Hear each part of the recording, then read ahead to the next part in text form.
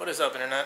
Today we are going to be installing a test pipe on the Evo. If you probably noticed from my last video, the Evo still has the catalytic converter.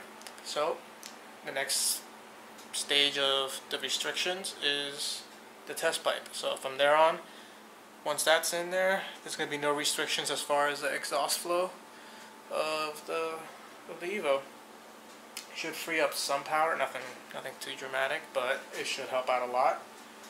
And yeah, um, since you are going from a catalytic converter to a test pipe, there are a few things you have to take into consideration. Um, once you do that, and you don't do any any other modifications, you will be throwing uh, check engine lights.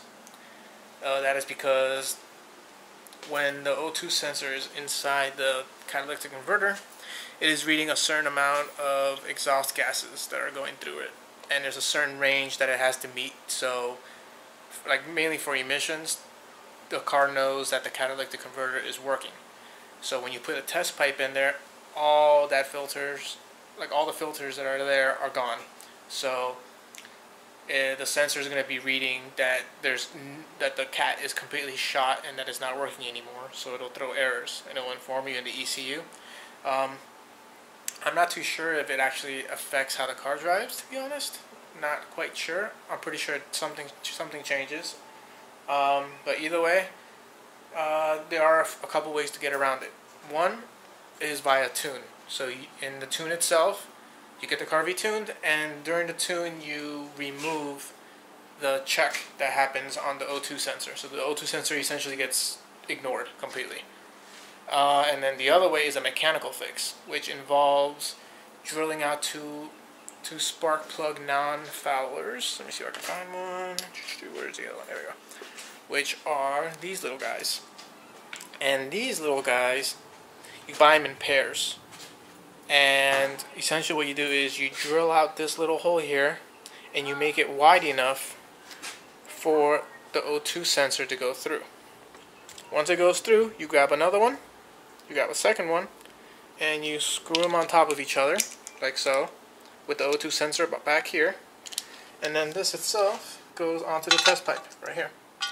And that spacing allows you to bypass, well not necessarily bypass, but it gives a, a, lower reading on the exhaust gases that are going through the test pipe so the sensor and the ECU know exactly to not freak out by the minimal gases that are going through. So in in sense, it still thinks that the cat is in there, when in reality it's not. So by restricting that amount of, of exhaust gases that goes across the, the sensor, it won't throw the error code. But in order to do these modifications, you need a couple things. First, two of these spark plug non-foulers. Uh, let me see, where's the label? Let me see if I can find a clean one. It? I bought a second set just in case. It's these guys right here. You can find them at any AutoZone, Discount Auto Parts. Like, uh, I'm pretty sure O'Reilly's has them too. You want the 18 millimeters. These come with two with two little small gaskets. I don't know if I'll use them, but we'll see. Um, then that is the number 42009. So with these, what you have to do is drill a hole. Drill a hole in there. Because right now the hole I believe is like one one sixteenth. It's really it's a really small hole. so in order to drill that out, you need a power drill. You're gonna need a half inch drill bit, which is the perfect size to drill in there and to open up the spacing for the O2 sensor to go through. So that's what I'm going to be doing next. So this is what you should end up with.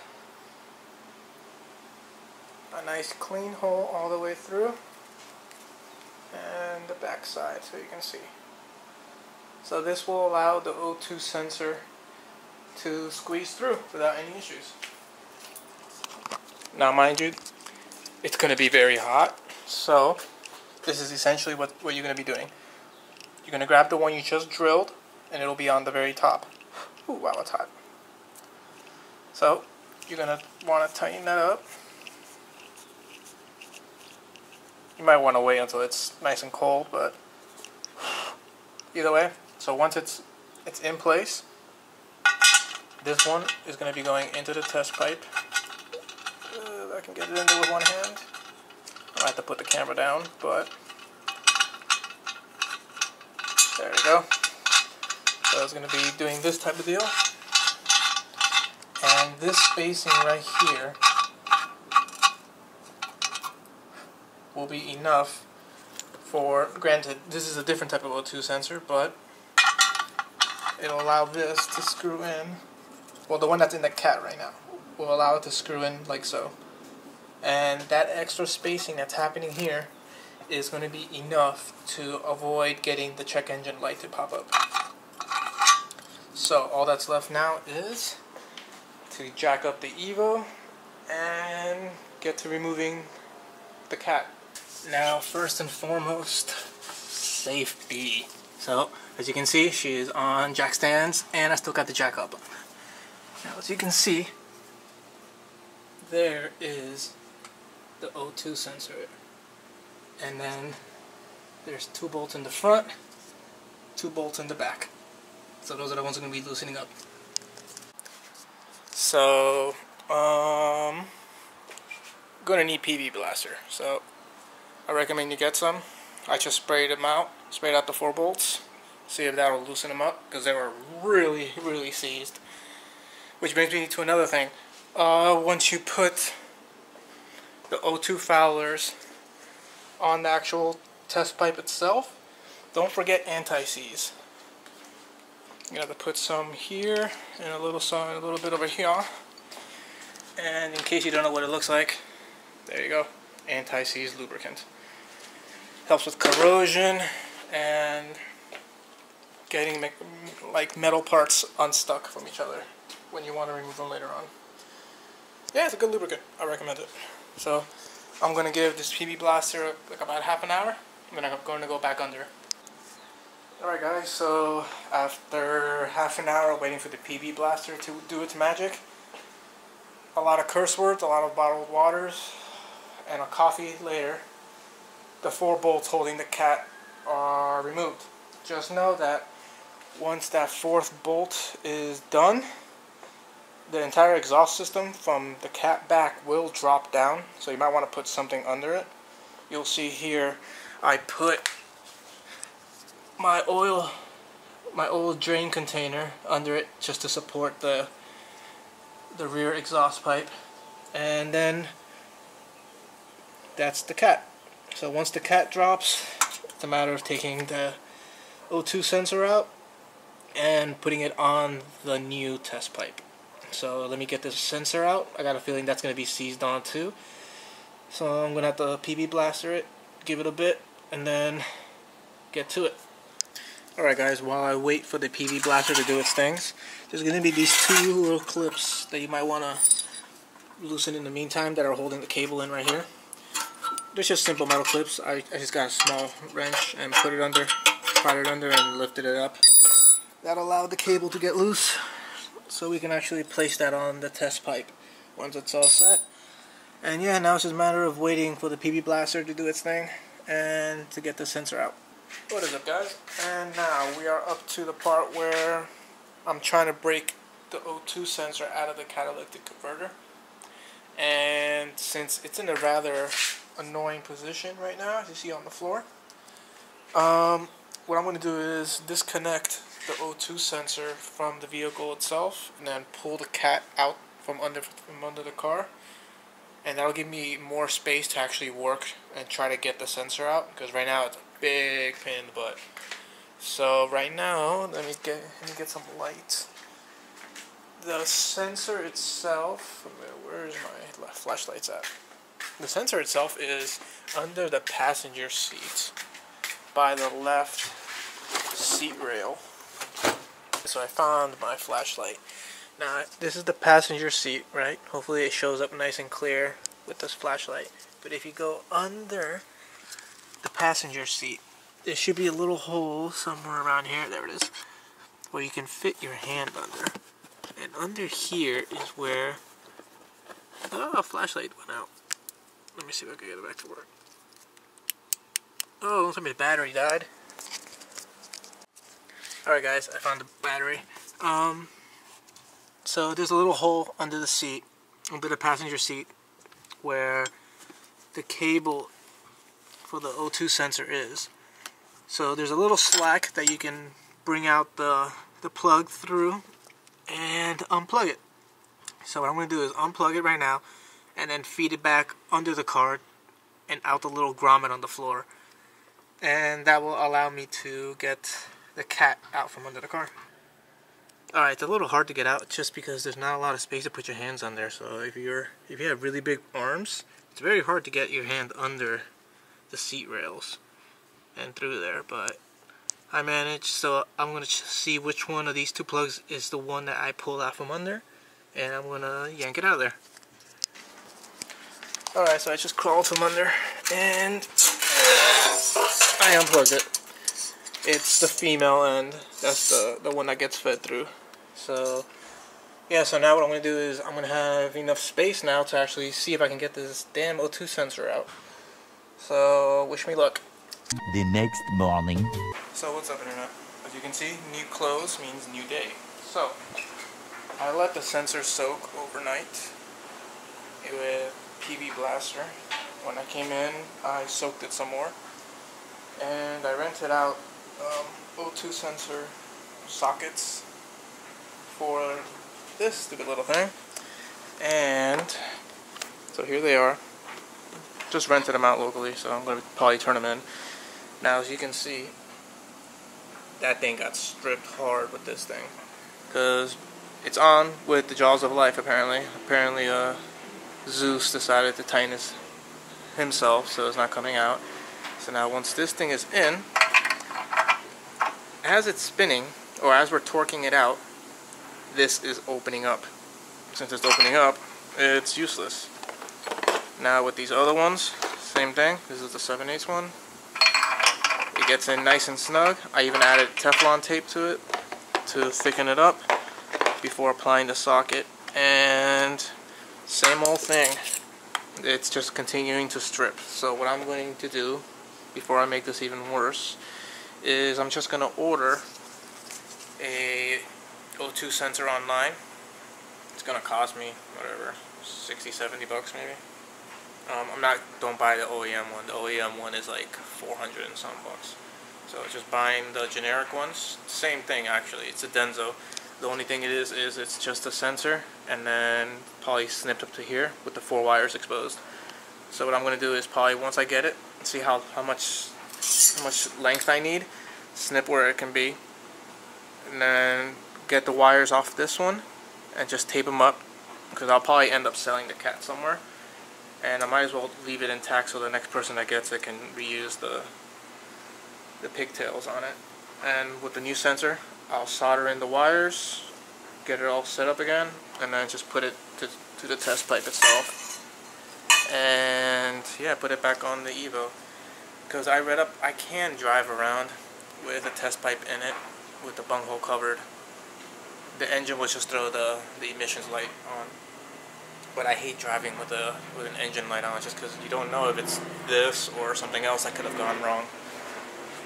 Um, so yeah, so what I'm going to do is I'm going to order this part and just wait until it gets here, I guess. Oh, and another thing. When you take the cat out, these two bolts are actually part of the flange itself on the test pipe, you don't have that. Same thing with the back end of the exhaust. So I'm going to have to go get some bolts for this. For this part up here. I'll probably end up getting just four brand new ones. Two for the front, two for the back. And then I'll tighten them myself. But I'm going to have to take uh, one of the stock ones because the stock one is too fat. So I'm going to have to get one size smaller and then the corresponding the corresponding nut on the end.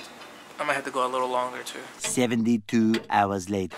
So through the magic of editing, it is now Friday and that is two days after I ordered the sensor that wouldn't want to come out of the of the cat and it's here. So I got a little antsy and I took it out. So there it is.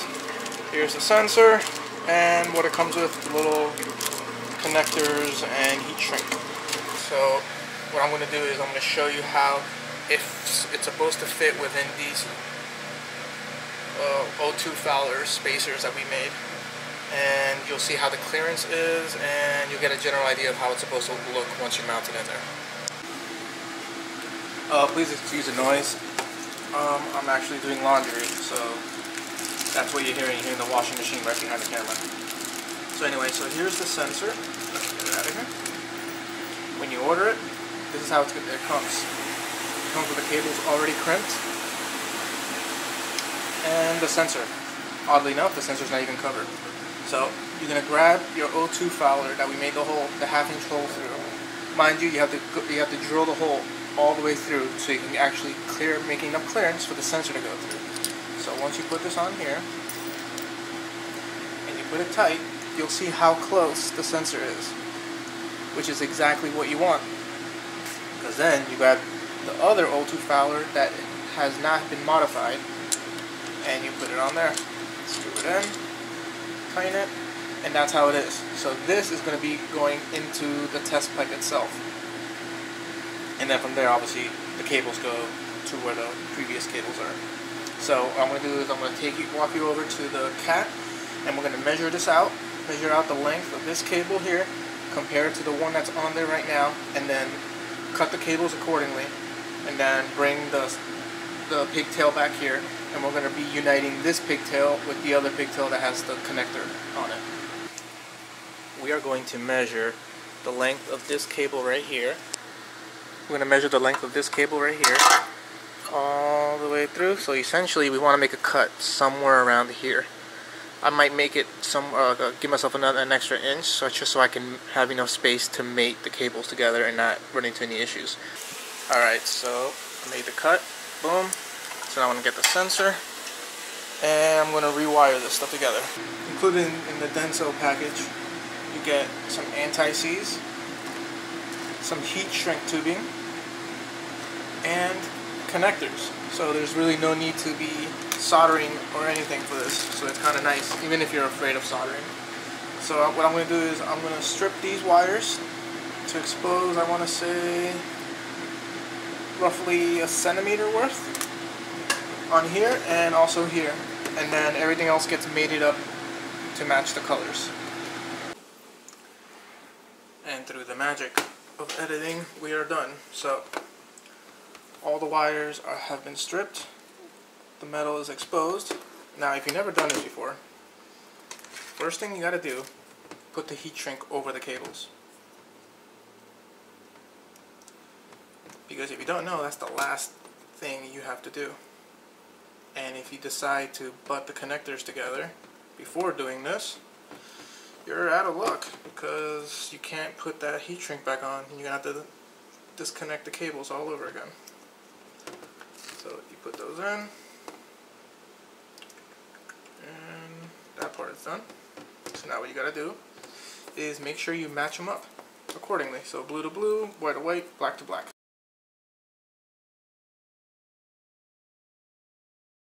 Through the magic of editing, they are all there. They're all crimped. So once they're joined, joined together, it's a matter of sliding the heat shrink over both.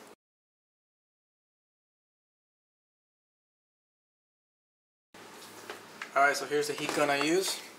It's a, just a basic Wagner. It's like a $10 one. I got it when I was wrapping the Evo. So, just put it on low, or if you want, you can go to high but you want to heat this until you start seeing it shrink. So heat, heat, heat. You'll see it start to shrink. There it is, shrinking, shrinking, shrinking. Once it shrinks enough that you can see the indentations of the metal, you are good to go. And there we go. And we're good to go there. So now that that is all set, what I'm going to do, I'm going to slide this up a little, just so it can cover up some of this area here. And I'm just gonna wrap this part in electrical tape, just in case, because you never know like what this can be banging up against too or whatnot. Alright, so here it is wrapped up in electrical tape. This is mainly to prevent any water from getting in, into it, because that area is going to be exposed. Luckily, I barely made it. So, yeah. Quick thing before you attach everything to the test pipe and get under the car. Do not forget to add anti-seize to all these threads. So add a little bit here, a little bit here, especially some here, and also some on the test pipe bung. Just to prevent anything, any issues that can happen later on down the line, and you have to remove the sensor for whatever reason, you're not going to be fighting it for a couple days like I was. Quick note with anti-seize, you don't need a lot, you just need just a tiny little touch really, because it's just enough to prevent it from getting seized. so um, one quick thing, when you put it on the sensor itself, put an extremely little amount and try not to touch the sensor itself because I have read from other people that they've had issues down the line where the sensor would go bad just because the anti-seize got on it. As you can see, see if you can make it out. That is pretty much all you would need. So you put it on there, twist it on there, get it out, make, make sure you spread it around, and hand tight. You really don't gotta go nuts with this, and presto. So now what I'm gonna do is do the same thing on the test pipe, and we should be good to install it now.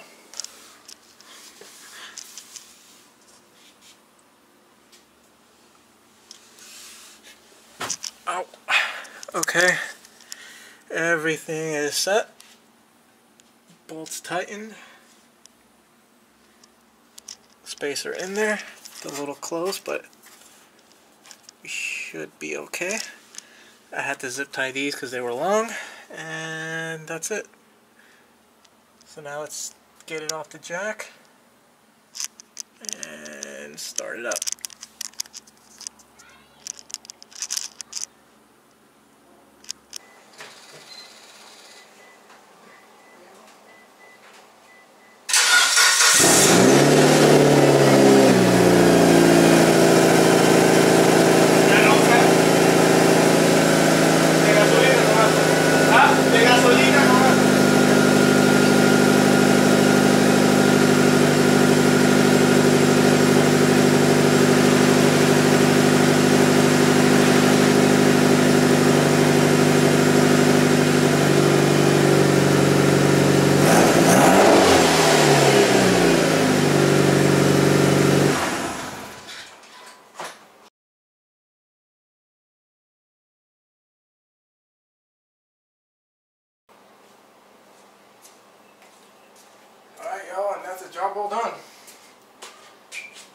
a matter of cleaning up and getting gas and going for a test ride. A few moments later.